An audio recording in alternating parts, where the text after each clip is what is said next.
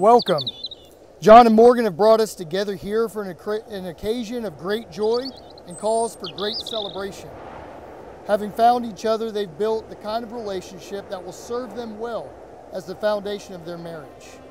They have chosen each other and every one of you to be here with them to witness their wedding vows as they join together today as husband and wife.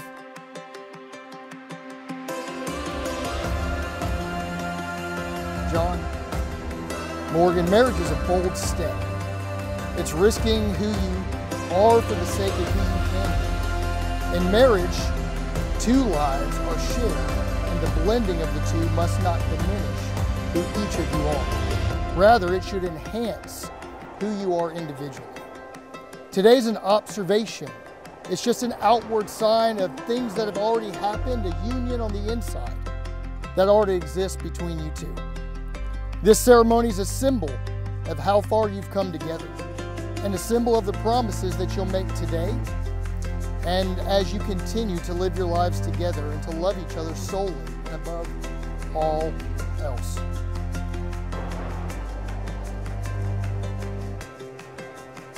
A successful marriage is not something that just happens. It takes work.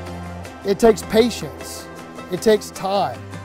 It takes commitment from both of you a commitment to do whatever it takes to make your relationship thrive.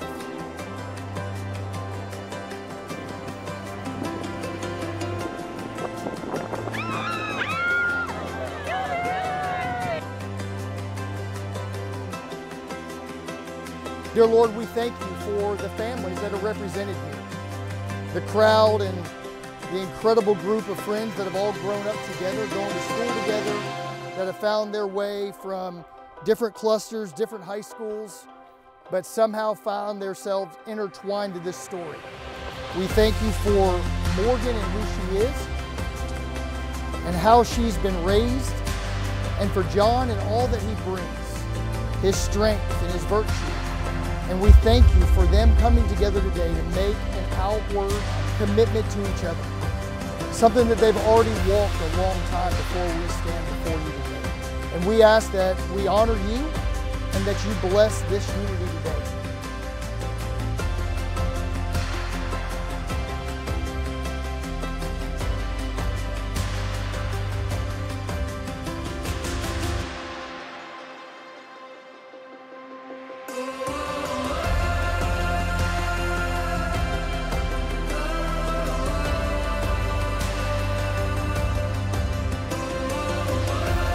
Jon and Morgan, no one but you can declare yourselves married. You have begun it here today in speaking your vows before your family and friends, and you'll do it again in the days and years to come, standing by each other, sharing all that is sweet and bitter in life.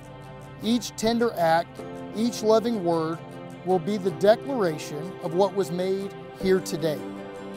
Therefore, it is with my joy and responsibility to officially acknowledge you and your union as husband and wife. And buddy, you can kiss your bride.